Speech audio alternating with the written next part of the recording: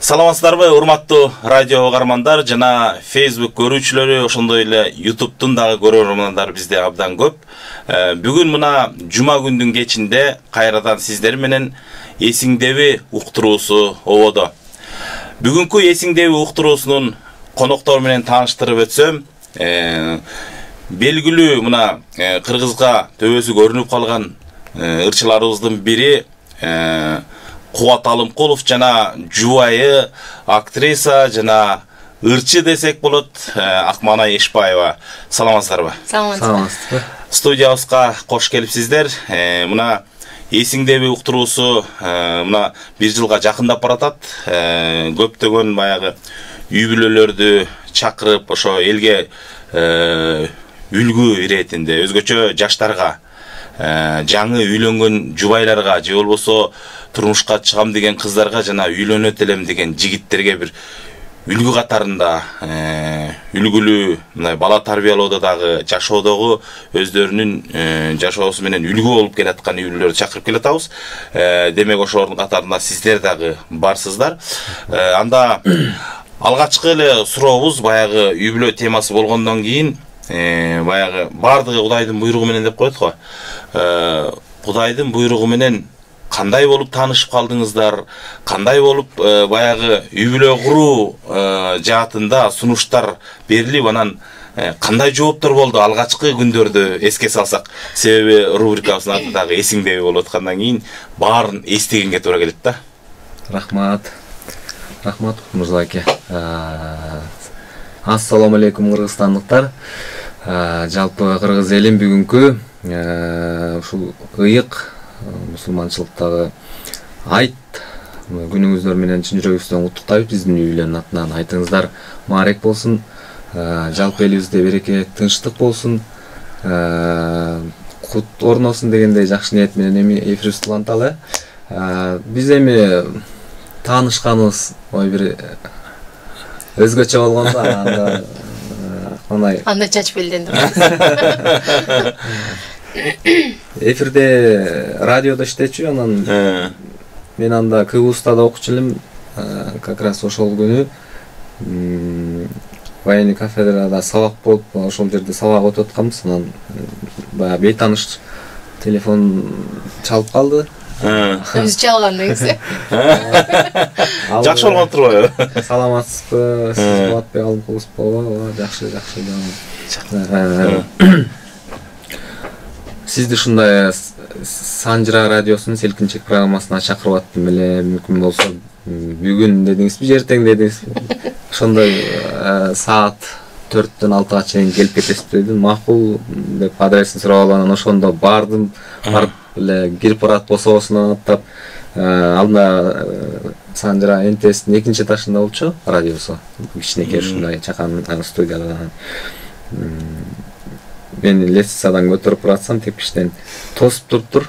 Анан бир көрүп эле баягы мындай тепкичтен чалынып кете жаздаппы атып карап эле буттар шилтенбей эле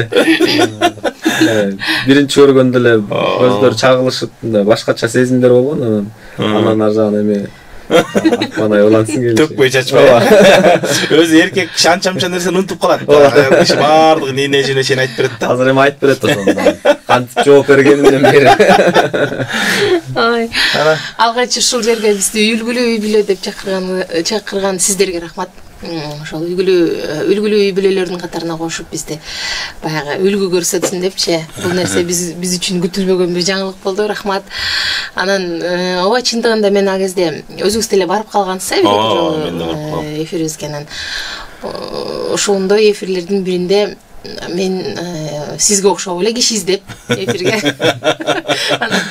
Тааныш э, агаларга тааныш эжелерге чалып анан ошол таланттуу балдар кыздарды чакыруу максатында э. таланттууларды издеп баштадым. Анан тиги талант кыдырмаев деген ырчы жигитке чалып сурасам айтты. Бир тааныш бала бар. Абдан жакшы ырдайт ошого чалып көрсөң деп анан номерин алып алып чалдым чалсам же уктап жатканбы же сабакта турганбы билбейм айтор үнү башкача үнү башкача акырын сүйлөп мындай орусча айтканда өтө серьезный сүйлөдү да? Өзү эле серьезный жигит да акырын сүйлөгөн бизге окшоп кыйкырып сүйлөбөйт серьезный сүйлөдү мага чындыгында бул нерсе аябай орой учурады анткени анткени э, радиодон чалып атам деп бир бирөөгө кайрылсаң аябай мындай жакшы кабыл алчу да анан өзгөчө ырчылар. Анан эмнегедир баягы тоготпогондой кылдыбы деп элечи өзүмчө анан тим эле кирсиет го деп койгом ичименчи көрөм келгениңде депчи ошентип ойлоп койгом чын эле ошондой болгон анан. Келе турган күнү эй макул макул деп эле коюп койду трубканы анан. Келе турган күнү анан ошол төрттөн алтыга чейин болчу да селкинчек анан ошол кезге жакын калганда э, мен анда экинчи кабаттан биринчи кабатты карап ушул күтүп атам да эми баягы. Э, сиз деле өзүңүз деле түшүнөсүз ал нерсени эфирге келчү коногуң кеч калып калса дагы сарсанаа болосуң да анан. Мен экинчи э, кабатта туруп алып ушул тепкичтен ылдый карап турам ким келатат болду экен эми чындыгында экөөбүз көрүшкөн эмеспиз мен тааныбайм да анан. Телефондон эле бир сүйлөшкөн бойдон анан. Э, мен серьезный бир жигитти күтүп атасың мен ойлогом бир аябай эле бир эме Саламаттуу. у- эй, узун бойлуу тим эле манас өңдүү бирөө келет го депчи аябай здоровый киши келет го депчи аранда анан. А, бир убакта кирип келатыптыр комуз көтөрүп келатканына караганда эй ушул го деп ойлодум Көрсөм кичинекей эле бою кичинекей эле андай деле бир керсее турган деле өңү жок. Ошентип эле серьезный кирип келди. А мен учурашып эле жүрүңүз деп эле анан э, студияга өткөрүп эфир болду. Анан эми эфир аябай кызыктуу болду. Э, сү- сүрөткө тартып баягы мен өзүмдө колумда планшет бар болчу анан сүрөткө тартып жана эфирден эстелик деп ушинтип тартып калгам да. Анан менин номеримди алып алып анан ошол кийин ошол сүрөттөрдү мага жиберип коюңуз деп номеримди алды. Анан бир эки үч күндөн кийин анан өзү жазып калды мага ошол сүрөттөрдү жиберип койсоңуз деп. Анан ошондон улам эле экөөбүз сүйлөшүп кеттик. Анан Жылдыздар келишти, ооба э? анан билбейм кайсыл убакта жана лестницада күтүп атканда келишти каягында келишти. Кыскасы ошентип анан бат баттан жазышып чалышып жолукчу болдук. Бирок э, биз ошол сүйлөшүп жүргөндө деле үй бүлө куруп калабыз деген деле ой болгон эмес чындыгында анан кийин ошол өзүбүз кантип бири бирибизге байланып түбөлүк ушинтип кудайым бизди көрүнбөгөн жип менен байлап койгон кантип билбей калдык да. Ошо таанышкан күндөн баштап үйлөнгөнгө чейин канча убакыт болду? Үч жыл. Үч жыл болдубу биз эки миң он 14 төртүнчү жылы тааныштык эки миң он алтынчы жылы үйлөндүк А, эки жыл э жакшы он алтынын аягы Э, демек мындай баардык нерсе өзүнүн орду менен өзүнүн дугу менен келип анан баягы бышып жетилип анан ишке ашкан турбайбы ооба бирок биз э, чындыгында сүйлөшүп жүргөндө деле мынтип э, экөөбүздүн сүйлөшкөнүбүздү ки- эч ким деле билчү эмес Э, А, эч кимге деле билгизген эмеспиз анан кийин экөөбүз үй бүлө кургандан кийин көп киши таң калып жүрдү эй силер каяктан мындай депчи тымызын эч кимге айтпай эле сүйлөшүп жүргөнбүз а, ошол анан ошентип мынакей азыр үч баланы тарбиялап. А, баягы эме да э, жакшы жери баягы эсиңдеби деген биздин э, баягы уктуруубуздун баягы маанисине дал келип ошол эфирден таанышкан жубайлар мына бүгүн бизде конокто болуп отурган абдан бизге дагы мындай жагымдуу болуп атат.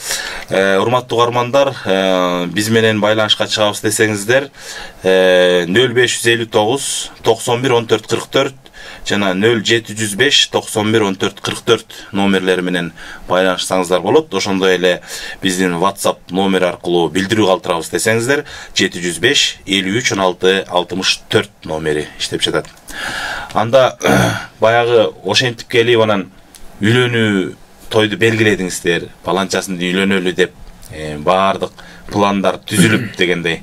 Анан ошол учурларда окуяларга токтолсоңуздар себеби баарыбыз эле баягы үйлөнөр учурда көзгө эчтеке көрүнбөй тумандап баягы үйлөнгөн кандай болот болду экен депчи анан кантип үйлөнүп калдыңыздар анан ошол учурдагы кызыктуу окуялардан айтып берсеңиздер көп окшойт ошо күлүп калдыңыздар күмөндөр агай айткандай тиги кирип турган буурадай болуп кыштын күнү үйлөнгөнбүз декабрь деп атасыңарбы декабрь Э, Э, анан тим эле өзү айткандай жаланып жуктант деген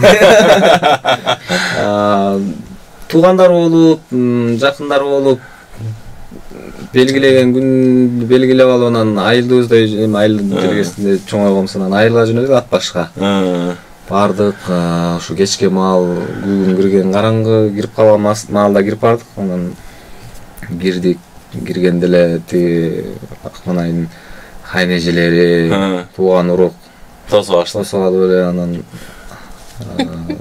жакшы кабыл алып ошентип отуруп анан очор бачар болуп кеттик ошондой. Бул- анан бул баягы кышында болуп калган үчүн ошол баягы чакан үйдөгү баягы Э, баталуу түлөө берип той кылдык анан ошол эле жыл кийинки күзүндө отуз биринчи октябрда э, тойканадан э, как раз уулуда болуп калганбыз э, той бердиңер той чогуу Бешик той. бешик той А, чогуу а. жакшы эми бул жагынан дагы акман айга окшойбуз себеби кененирээк э, көп нерсени мындай үстүртөн өтүп кетти чөп башылап эми да э, бул жерде э, баягы кыргызда илгертен эле айтылып э, баягы анубузга сиңип келаткан нерсе бар да. Э, баягы түндүктүн салты менен Ага. салтындагы айырмачылыктар бар. Ошол жерлерден кандай айырмачылыктарга кандай нерселерге туш келдиңиз ушулар боюнча? Мен э, ошол чындыгында ошол нерсеге аябай бир кандай десем бир ойлогон эмесмин да мындай чындыгында мен нарын тарапка такыр барган эмесмин да адам долондашкан эмесмин көлдөн ары өткөн эмесмин деген кээ бир айтат го тебашындашкан эмесмин дегендей коомдон ары өткөн эмесмин да кыскасы анан э, биз барып калдык. Бирок баратканда дагы ушундай жол бир эми жол көрүнбөйт караңгы анан Э. кышкысын. Тим эле тайгалак э жолдун баары тайгак болуп укмуш анан. Эптеп жеттик жеттик анан.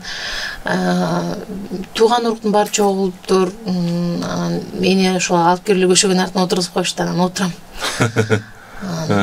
Тиги улам тамак алып келип коюшат улам эле тиги камыр менен эле эт да аш жок жок мен баягы ал кезде мен биз эми үйлөнгөнбүз биз шаарда үйлөнүп калдык да ага чейин дагы эки үч ай жашап калганбыз анан мен ал кезде кош бойлуу болуп баягы токсикоз деген азапка батып жүргөн кезим анан айылга барып анан ошол күнү баягы ысык тамак ичким келип бирдеме жегим эми болот да организм талап кылыпчы анан ысык тамак ичким келет суук тамак ичким келет улам эле тамак десем эле улам эле тиги Эт менен камыр. эт менен эле беш бармак анан улам эле ошону алып келет анан мен аны жей албайм. Э, ишенсеңиз шорпо шорпо деп шыбырап коет бир ишенсеңиз үч күн болду биздин ошол тууган урук улам бир тууган урук чакырып анан тигилерди чакырып буларды чакырып. Ошентип атып үч күн той бердик бирок ошо үч күн тең мен ысык тамак ичкен жокмун жок эми тагыраагы мындай Ооба. миң каалагандай организм баягы каалап аткандай анан чындыгында аябай тамак ичким келип башкача тамак ичким келди анан мен тамак жегим келип атат деп абысындарыма айтсам да. Алар и азыр тамак келет дейт эртең таң атты эле саат тогузда эле кайра эле беш бармак келет мен ошентип да үчүнчү күнү анан айттым мен тамак жасайынчы өзүм дедим да. Э. анан бирок ага чейин чыгып мен кадимкидей идиш аягына башкасына каралашып ушинтип эле жүрдүм анан акыры мен тамак жасайынчы деп анан манты жасадым. Э. анан ошол мен негизи баягы өзүм түштүктүн кызы болгондон кийин биз эми баягы огородко жакын эмеспизби анан. Э. өзүм айдаган ашкабак көтөрүп барганбыз э? Чоң! Мындай ашкабак көтөрүп барганбыз анан ошол ашкабакты көтөрүп анан ошол ашкабак менен эт менен аралаштырып анан манты жасадым. Манты жасап жанагы мантыны өзүм ушунчалык тое жедим баягы. Өзүм аябай баягы тамакты эңсеп турган жаныман.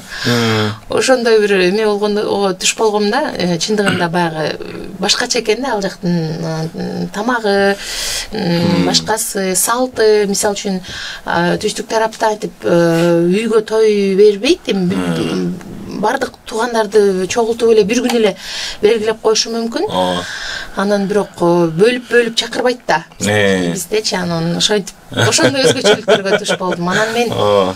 бул ишине м, баягы сиз деп э, чакырам ушул күнгө чейин эле сиз деп кайрылам анан ушул күнгө чейин мисалы үчүн биздин тааныштар туугандар баары эле сурай беришет да эмнеге сен систейсиң депчи анан бул эми баягы түштүктүн салты эмес. Ооба түштүктө ушундай үй бүлөлөр бар. Э, ата энесинин көзүнчө кайнене кайнатасынын көзүнчө жолдошун издешет бирок мындай өздөрү жалгыз болгон кезде сен эле деп кагылышат бирок мен ал нерсеге эмес болгону мен баягы өзүм ошондой экенмин да. Мен экөөбүз баягы таанышканда бири бирибизди сиз деп калып анан ошол бойдон эле бул сен деп калды анан мен сен дей албай койдум да ошол бойдон эле сиз деп калдым азыр дагы досторубуз аяштарыбыз баары тиешип калышат десилер эмне урушканда да сиз деп урушасыңбы депчи анан мен айттым ооба сиз деп эле урушат сиз деп урушсаң кайра жакшы экен кайра бат эле эметет экен депчи мындай болуп көп теңелбей коет экен депчи деп ошентип тиешип калабыз анан чындыгында ошо түштүк менен түндүктүн көп жерлери окшошпогон жерлери бар экен мисалы мен дагы ал нерсе менен абдан таанышмын себеби мен өзүм дагы ошол жалал абад күйөө болом да ала букагачы анан э, көп ошо ортодогу эми баягы бир эле элбиз го бир эле кыргызбыз. Бирок ортосунда айрым салттар айырмачылыктар болот экен. эми жашаган жердин шартына чөлкөмгө жараша. аны да туура түшүнүп аны дагы бирок өзүнүн баягы шартына жараша ыңгайлашып алса болот экен. Айрымдар такыр эле болбойт дейбиз бирок э, ыңгайлаштырса болот экен. Себеби башыбыздан өттү да биздин да көп нерсени көрдүк. Анан бирок Э, баардыгын ыңгайлаштырып э, тигил жака дагы бул жака дагы туура келгидей э, бир ортодогу нерсени тапса болот экен да. Анан бир тааныш балам айтып атпайбы жанагы сиз айтып атсаңыз эске келип атат. Бир оштун бир районунан бир группалашыбыз дейт үйлөнүп калып анан күйөө жолдош болуп барып калдык дейт баягы тойго барып калдык дейт үйлөндү дейт анан. Барган күндөн баштап ал жакта эң сыйлуу тамак аш болгон үчүн. Э, биз жакта эми күрүч эле деп коет да мындай аш деп деле эме кылбайт бирок эми мындай сыйлуу тамак катары берет бирок эми э, мындай усту канчалык сыйлуу эмес да. Ошон үчүн э, ашты мындай анда санда баягы тамактары жеп коебуз анан барганда жалаң аш жептир да барган күнү аш дейт дагы бир жака барсак досунука барсак аяктан аш дейт кечинде аш түштө аш үч күн тынбай аш жептир да анан жеңесине айтыптыр айласы кеткенде тиги бала кочкорлук болот анан жеңе дүкөндөр кай жерде бар дептир анан. Дүкөн эми алыс биз жакта десе. Мейли алыс эмес наркайлда болсо да барам дептир эмнеге десе. Бир кукси алып келип сууга бышырып жейинчи дедим эле да чындыгында баягы эми түштүктө биз камырга көп жакын эмеспиз да. Этке деле көп мындай талап күч эмес да этсиз деле тамак боло берет жашай беребиз дегендей биз мындай этти килограммдап сатып алып элечи жашай берчүбүз жашай албай азыр ооба да. Азыр эми азыр чучукту сугунуп азыр. мындай эт аз калган бир бир жилик бир чоң жилик калса эле болду ошо ошол күнү мен айта баштайм. эт калбай баратат сатып алабызбы депчи көрөт экенсиң баарына анда ат башылык болуп калган экенсиң да.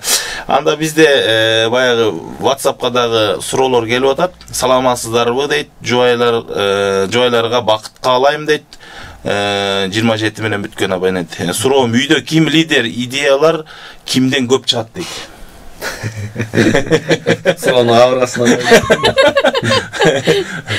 баштаганда эле кабыргасынан коюла баштады эми жакшы да баягы тока тери жерин сураган жана эмедей болуп чоң проблемаларды өзүм чечем анан майда чүйдөнү бул чечет бирок бизде чоң проблема болбойт деген.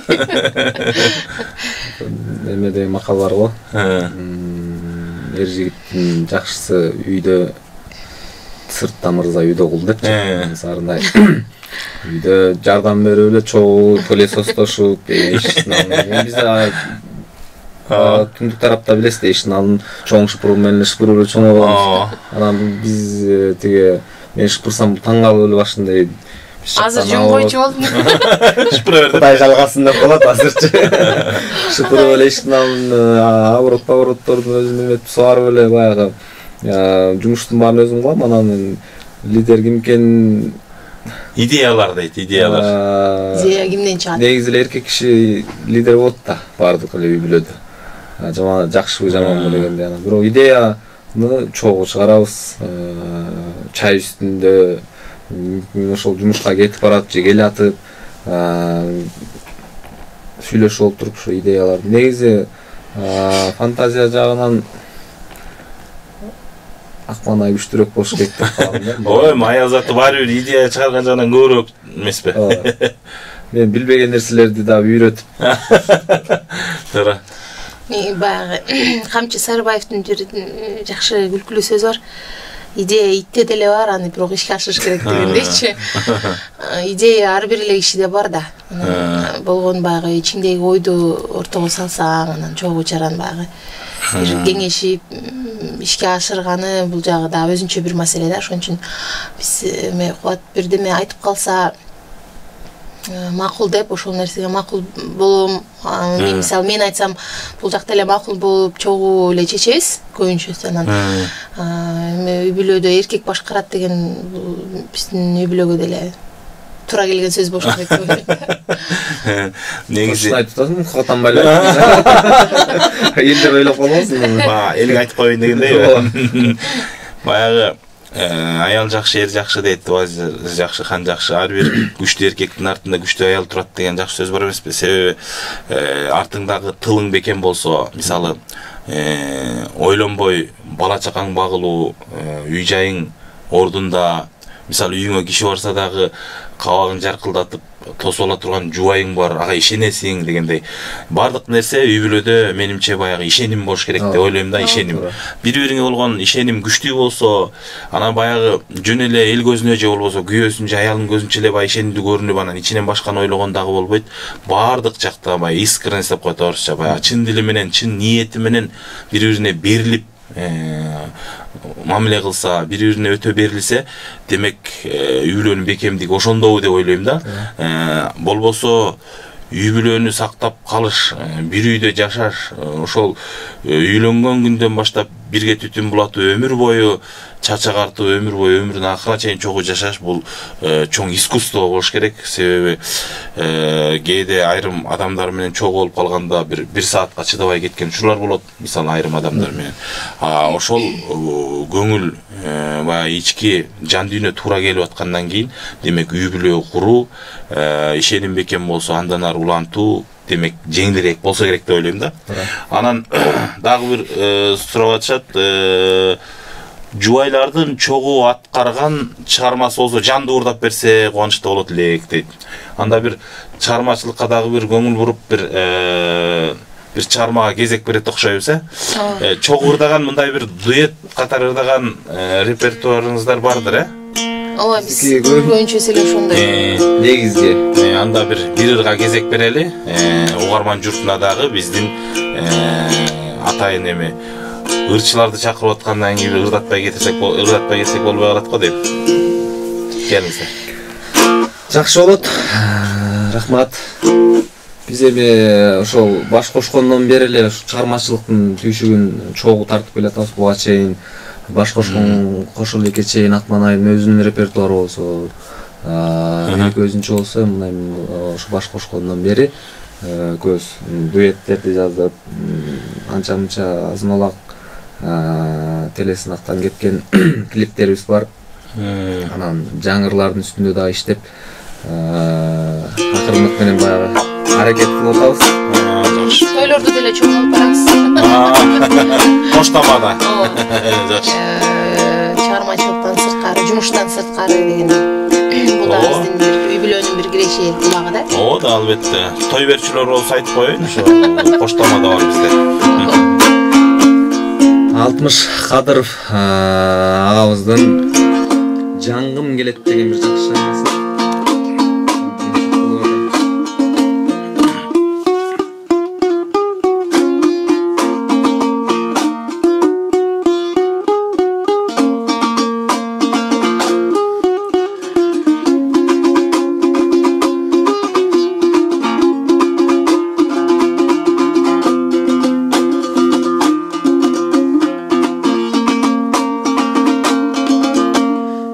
чыгармасы көздөрүңө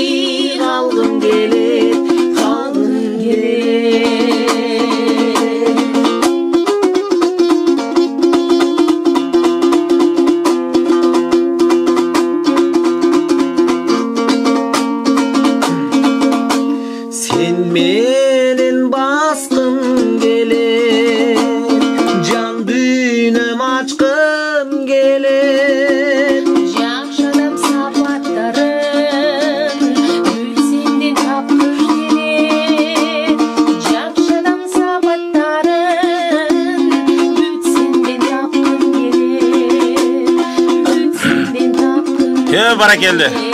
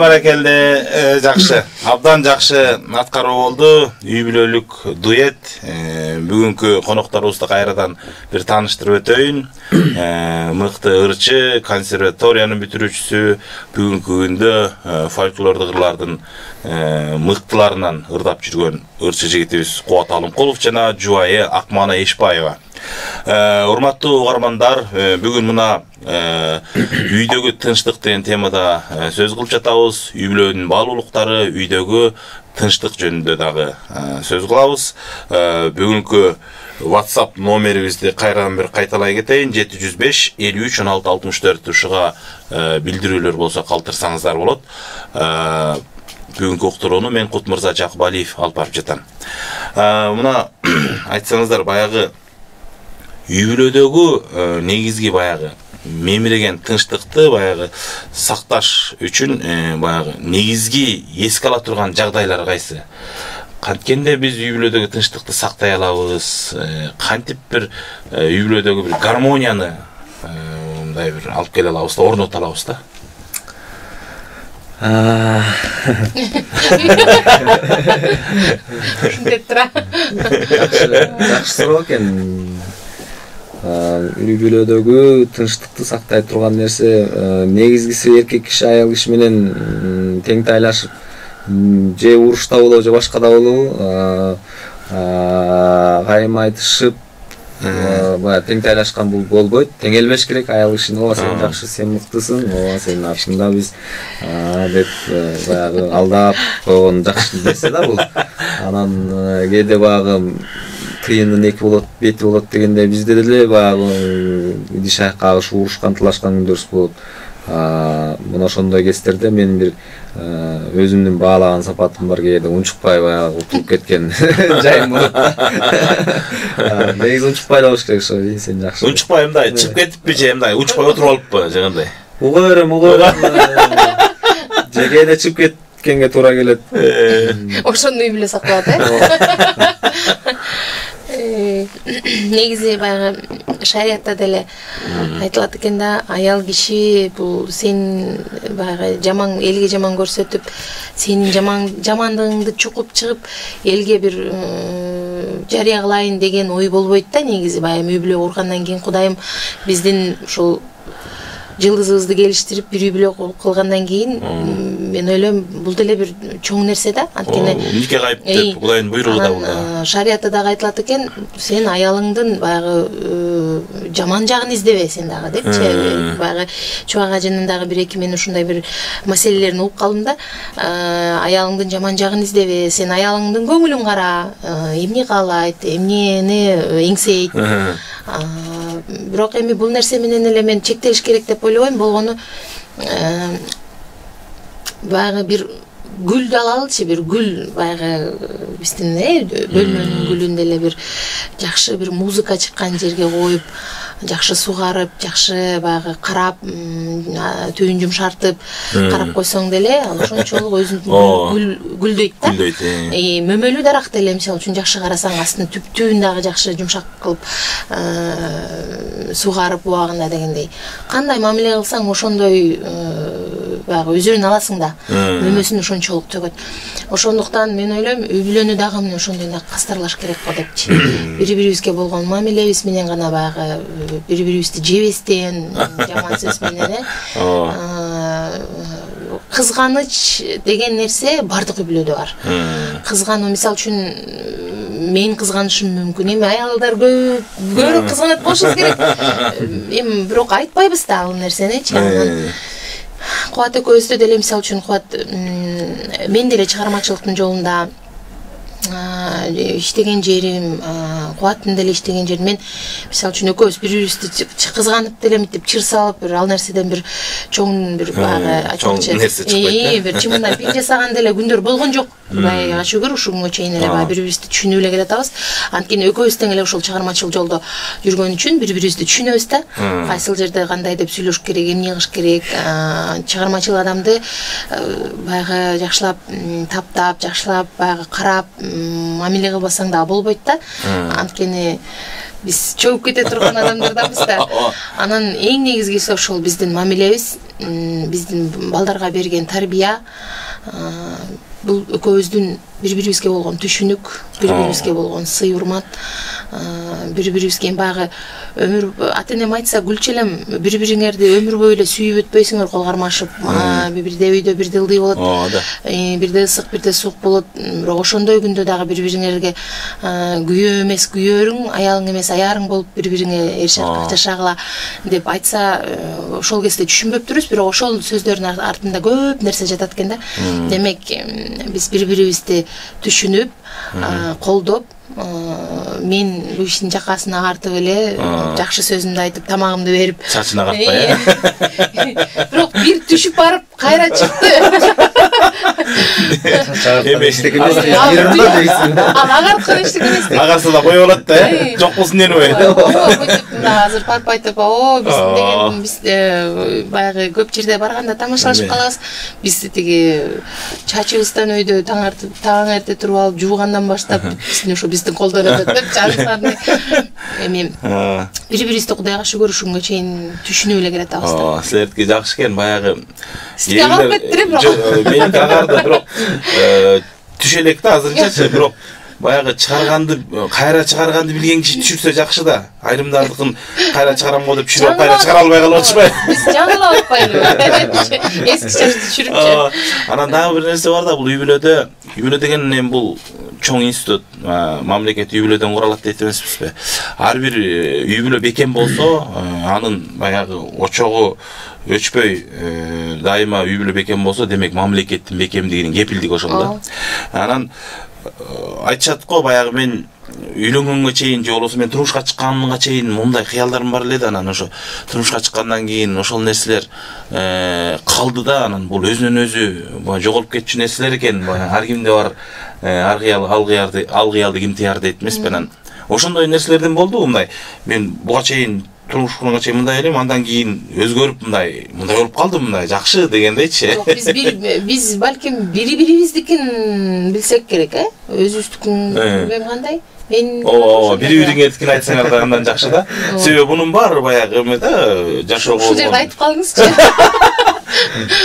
жашып жүрө бербейби учурдан пайдаланып. Эми кыялдар эми кыялдар кыял деген нерсе бул өзү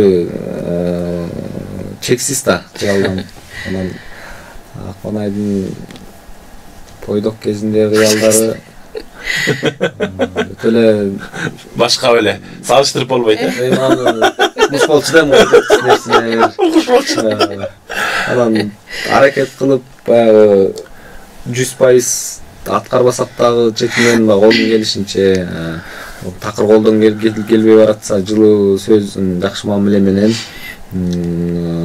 сиз жакшы деп дал алдап ийге келтирип ооба кыялдарды орундатканга аракет кылабыз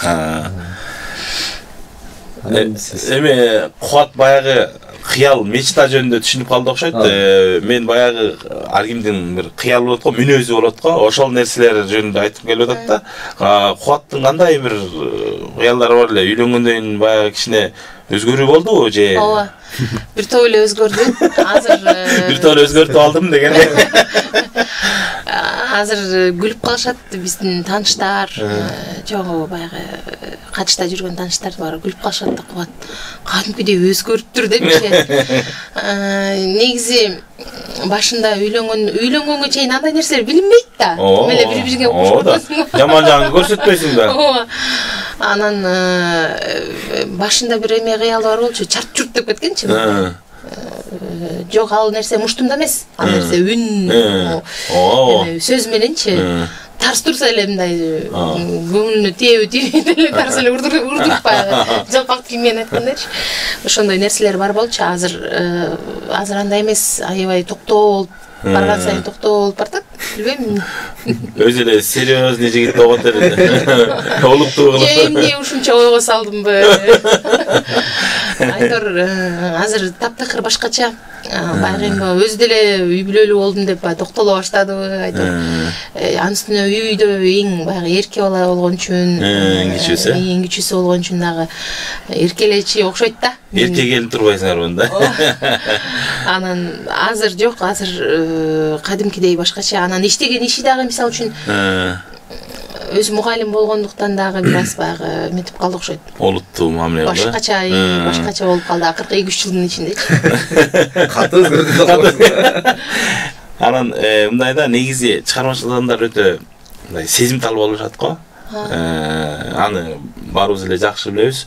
Баардык нерсеге сөздү дагы мындай өтө жакын кабыл алабыз. Бир нерсени айтсак дагы мындай эмоция менен айтышыбыз мүмкүн. Ушул нерсе чыгармачылыкка бир кандай таасир этет экен? Оң таасирин тийгизеби же тескерисинче терс таасир тийгизеби? Сен жооп бербечи анан ойлонуп турайын. Терс таасирин тийгизет анткени биз баягы өзүңүз билип калдыңыз болушуңуз керек. Биз тик токтон дагы таанышпыз да. Тик ток менен дагычы анан кээде тик ток тартканыбызда же болбосо башка бир биздин чогуу аткарган ырлар болобу башка болобу.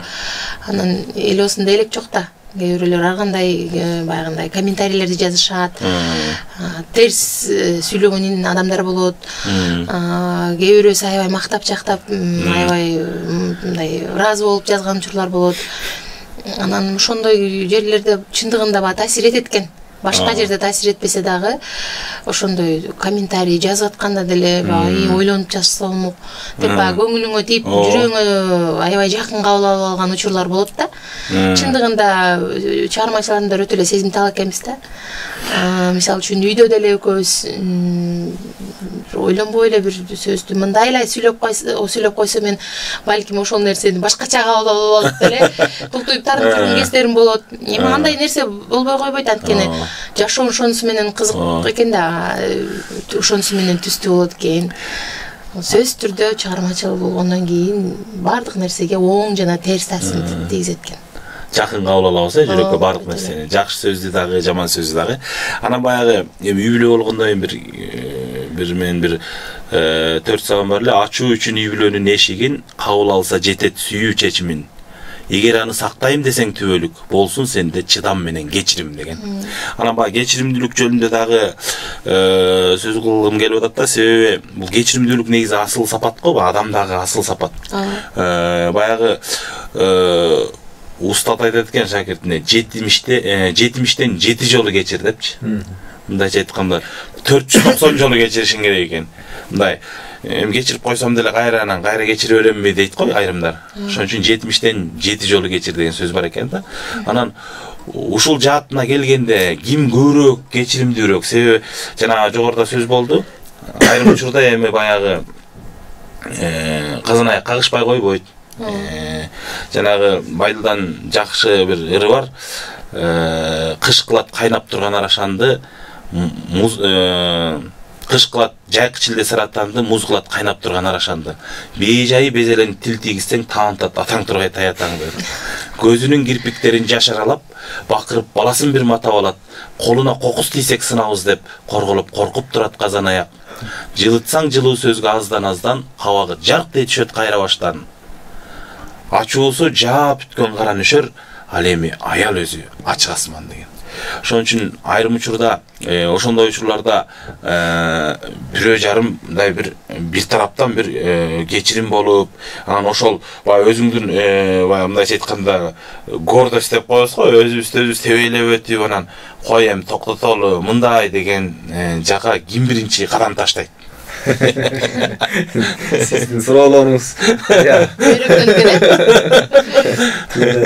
себеби мунун баары баягы жашоодогу кездештүү нерселер да ким болбосун кездеше турган анан биздин жаш жубайларыбыз же жаштарыбыз демек мындай болуш керек экен дегендей бир оң нерсе алып калыш керек да жакшы суроо болду аябай курч суроо да мындайча айтканда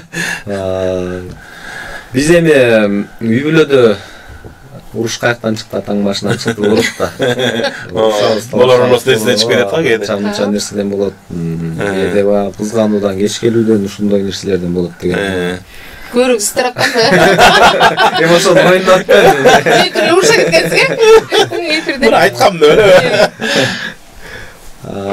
көбүнчөсүн таарынтып алам ооба ачыгын айтыш керек чын кудайдын куттуу күнүндө олтурабыз мына калп айтып жерден пайдаланып кечирим кереги жок да таарынтып алган учурлар болот анан кечирим сурайсың да эми баягы катардагыдай эле кечирип койсоң болду экинчи андай болбойт жакшы алтын жаным күнүм анан болду биринчи күн тултуят экинчи күн тултуят анан могу акыркы эле бир эки ай болду экөөбүз деле ушул айдачу үйдө нерсе менен уруша кетип анан бир жума сүйлөшүп бир жума эркиңер күчтүү экен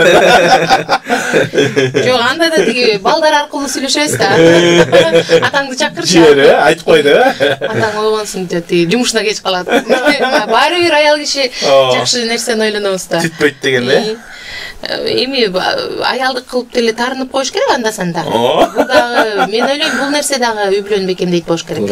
Туура. Ошондон бери бекемдейбиз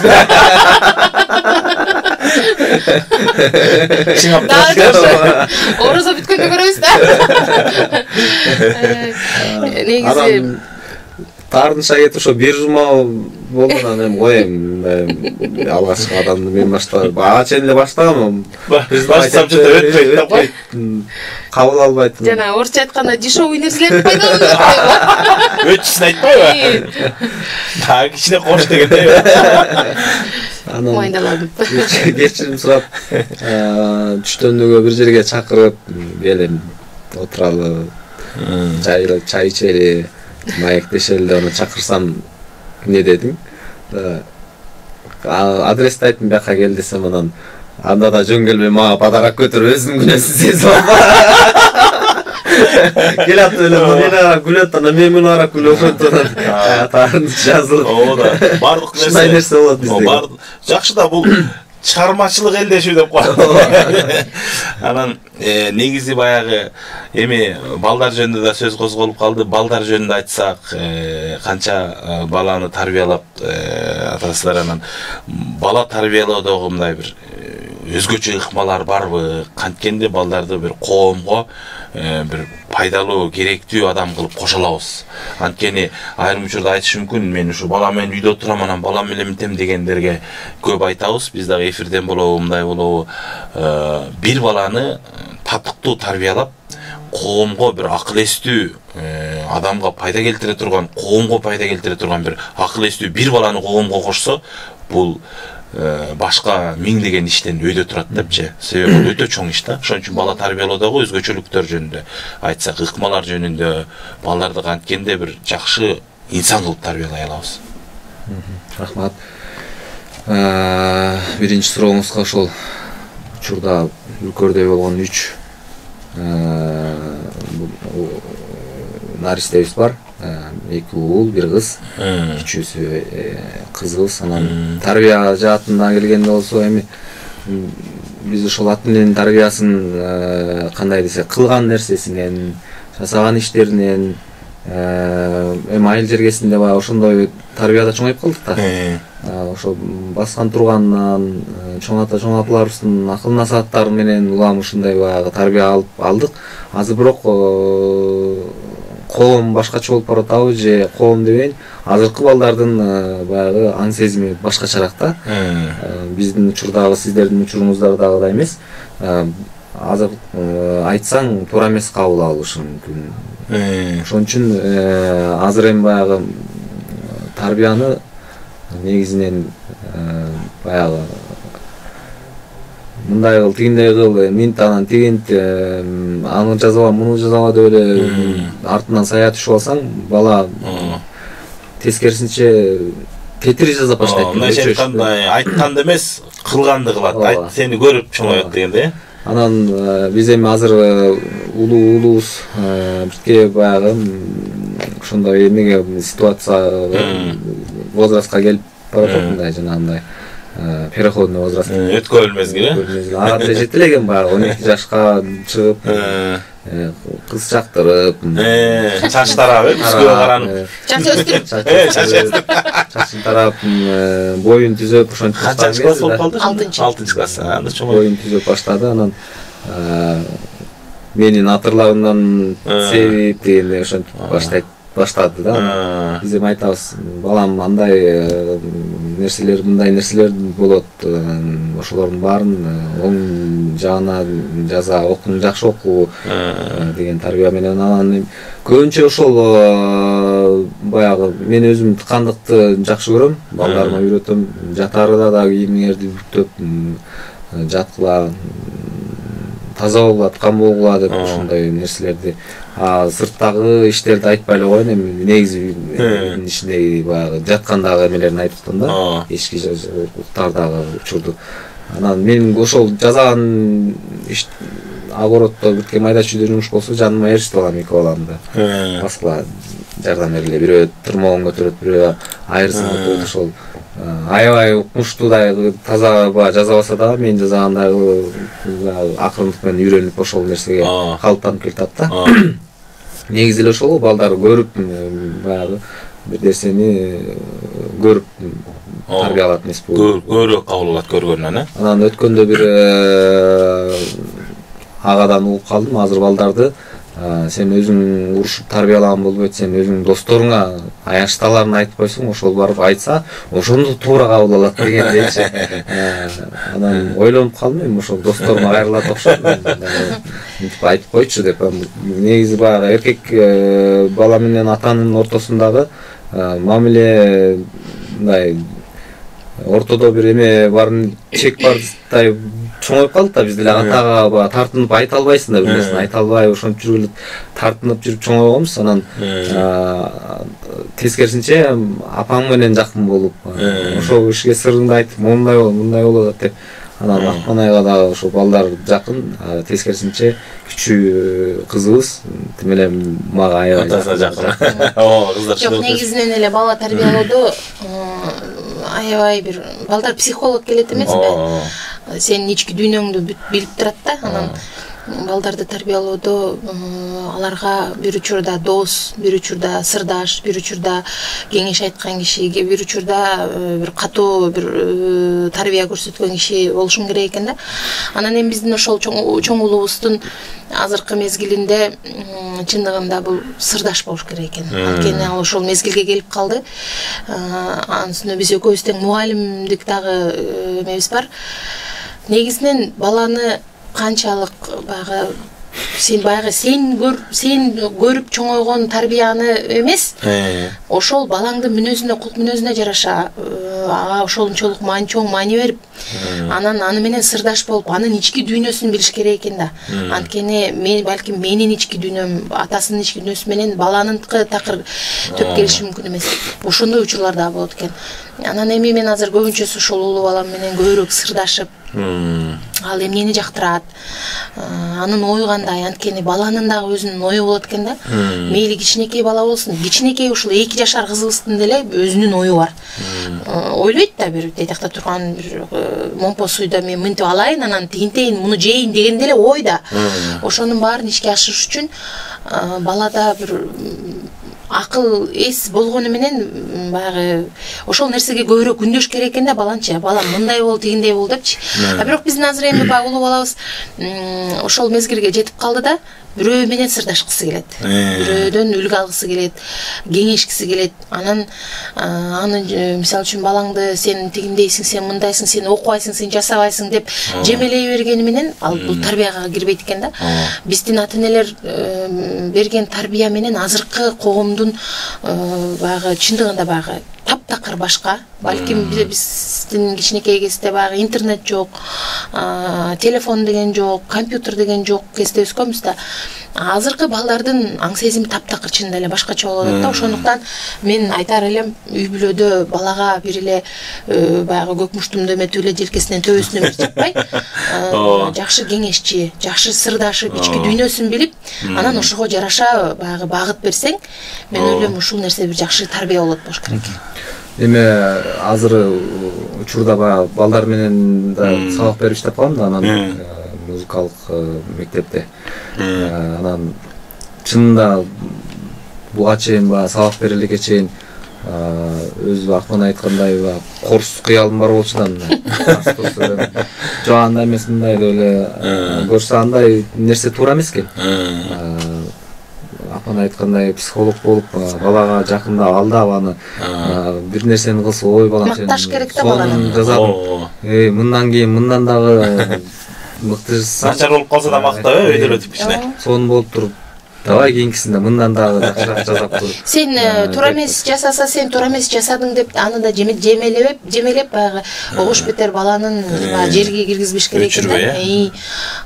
кайра колдоп колдомуттан алып сен мындан дагы чоң нерсеге татыктуусуң дегендей кылыпчы эме дейт эмеспи тилин табуу кыйын чындап баланын сени көрүп таштайт ар бир кадамын миң кайталап үйрөт миң кайталап үйрөтүүнүн ордуна өзүңдү оңдоп тарбияла карагым дейт го ар бир адам э, бала тарбиялоодо менимче баягы өзүбүздүн ар бир кадамыбызды ар бир сүйлөгөн сөзүбүздү жүргөн турганыбызды кийингенибизге чейин мындай туура болсо мындай туура багытта болсо бала ошол сени көрүп эле көбүрөөк Ооба. үлгү алат экен да баягы көргөнүнөн көргөнүнөн үлгү алат экен да укканына ооба караганда туура айтасыз анткени биз деле мисалы үчүн ата энебиз берген тарбияны көрүп атабыздын апабыздын басканын көрүп туруп анан ошондо айтчубуз да мен атамдай апамдай киши болоюн депчи анан бала дагы сени көрүп кандай басат кандай сүйлөйт кандай үйдө кандай сүйлөйт үйдө кандай тарбия берет ошонун баарын карап туруп анан сенден үлгү алат экен да ошондуктан биринчи өзүбүздү оңдошубуз керек экен А, баладын канчалык башынан сылап канчалык аны менен сырдашсаң ошончолук өзүнүн ичиндеги баягы болгон эмесин сырын ачат экен да анан балаңдын кулук мүнөзүн сен баягы түшүнбөй туруп ага тарбия бере албайт экенсиң.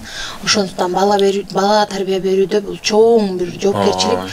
Баланга тарбия берүү бир эле атаныкы эмес же эненики эмес. Ортодо чогуу атанын э? тарбиясы эненин тарбиясы чогуу болгон болсо. жакшы Айкалышыбы? ооба жакшы тарбиялуу ниса да өсүп чыгат э рахмат. Анан мындай да дагы бир нерсени сурагым келип атат баягы үйдө аял киши өзүнчө баягы көп түйшүк тартып үйдүн түйшүгү да оңой эмес да бир үйдүн түйшүгү жанагынча бала чаканын тамак ашы кийими дегендей. Ошол күнүмдүк э, түйшүк чыгармачылыкка кандай таасир этет болбосо мисалы аял киши чыгармачылыкты биринчи орунга коюусу мындай нормалдуу эле көрүнүшпү же сөзсүз үйдөн убакыт ашса гана анан чыгармачылыкка бөлүш керекпи ушул жаатында көз караш кандай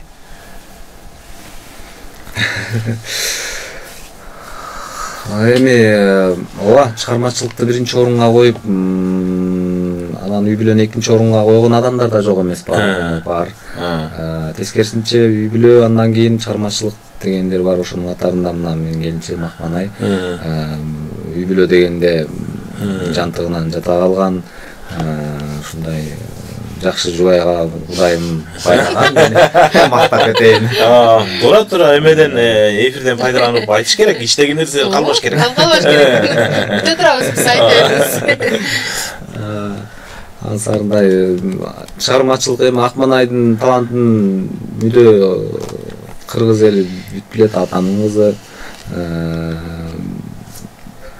бул жеке эле ошол э, опера жаатында ырдаган чектелбестен э, эстраданын э, ырдаган м, жакында эле мына жанагы саундтрек боюнча концерт болуп өттү ошондо э, Хьюстон ырын ырдады оркестр менен ал эми ал ырларды ким эле майын чыгарып ырдайт да Э. мен айтып атпаймынбы көп көпчүлүк баягы могу ырдап аткандагы не- негизги негизги үн анан кошумча үндөр болуп чыгат да.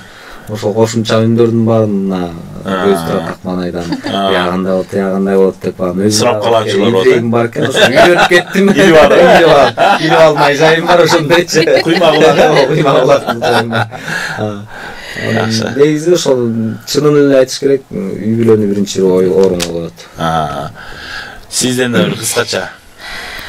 Чыгармачылыкта жүргөн аял кишиге бул нерсе өтө эле кыйын. Э, экөөнү бирдей алып кетиш керек э? Анткени менин иштеген мен үч жерде иштесем ошол үч жер тең чыгармачылыкты э, биринчи орунга кое турган эле жерлер да анан э, бирок болбой эле биз аял киши анын үстүнө биздин улутубуз да ошондой үй бүлөгө үй бүлө деген адамбыз да анан үй бүлө сөзсүз түрдө. Мен мен ойлоп калам да кээ бирөөлөр айтат да биз менен чогуу иштеген эжекелер айтып калышат. Ай болду төрөбө төрөбөй эле кой сен деген карьераңды өстүрүшүң керек депчи. А кээ бирөөлөр айтат карьера өз эмеси менен боло берет нугу менен сен деген үй бүлөң менен биринчи болушуң керек дейт. Мен бирок экөөнүнө тең кошулбайм. Анткени эгерде мен үй бүлө дей турган болсом болгону мен уйкуну аз кылып эле жалкоолукту жыйыштырып үй бүлөмө дагы көбүрөөк э, маани берип балдарыма да жакшы тарбия берип анан жумушума дагы убагында барып калганга аракет кылышым керек да. Бул мен ошондой бир э, бала кезден эле биз баягы ата энем үйрөткөн баягы эме да ошондой режимде үйрөнгөнбүз.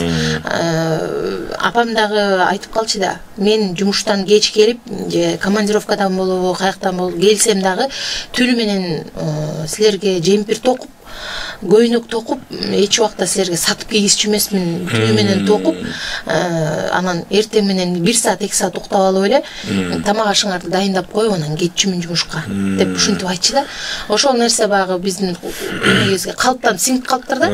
Анан мен да ойлой берем да кеч жатам чындыгында ачыгын айтканда кубат бат эле жатып алат келери менен кеч жатам эрте ойгоном анан бизде эртең менен ойгонгондо эле ушул туруңуз кеттик турбайсыңарбы кечке эле ошол балдар менен тургуза албай эле чындыгында эрте ойгоном. Баардык нерсеге жетишкенге аракет кылам. Мен бул нерсени баягы өзүмө баягы орусча айтканда уверенно айта алам деген смело айта алам ага өзүмө ишенем дегендей э? Ооба чындыгында мен эки жакка тең үлгүргөнгө аракет кылам. Рахмат. Анан дагы бир нерсе бар да баягы чогуу ырдап чогуу баягы репертуардагы чогуу репертуарлар көп экен анан үйдө отурганда дагы мындай бала чака менен жөн эле мындай чай ичип отурганда же чай ичип бүткөндөн кийин эс алып отурганда деле мындай ырдап калган учурлар болобу балдар сөзсүз түрдө биз көбүнчөсү үйдөн эле бир ырды бышыкташ керек болсо үйдөн эле даярданабыз репетиция кылып анткени экөөбүз тең күнү күндүз экөөбүз тең өзүбүздүн жумуштар менен бошобойбуз. Таптакыр убакыт болбойт.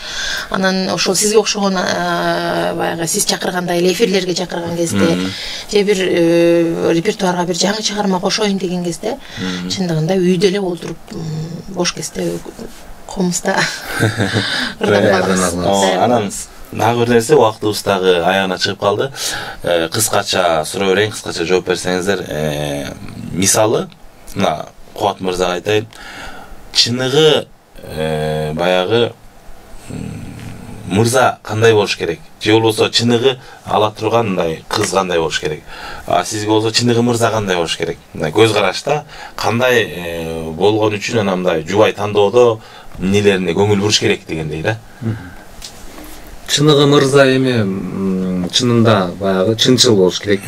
Эрктүү болуш керек. Сөзүндө турган эч качан калп айтпаган. Мен өзүм да ошол калпты жаман көрөм калп айта албайм калп айтсам эле кармаланып өзүмдөн эле билип калат дегендей. Батыра билип калат сен чо то калп айт.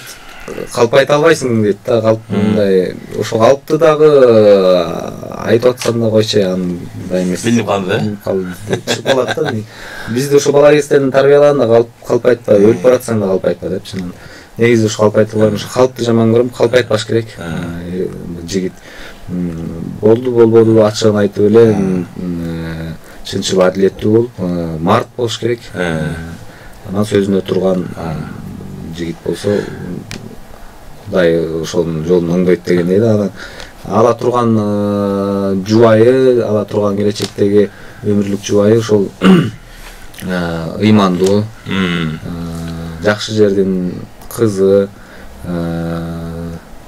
ошол үй бүлөнү камыр жумур кылып сактап ала тургандай деңгээлдеби анын акыл сезими кандай ички туюму кандай ошолордун баарын билсе менимче ушул эки жаш бири бири менен бактуу болот деген ниеттемин да. Рахмат.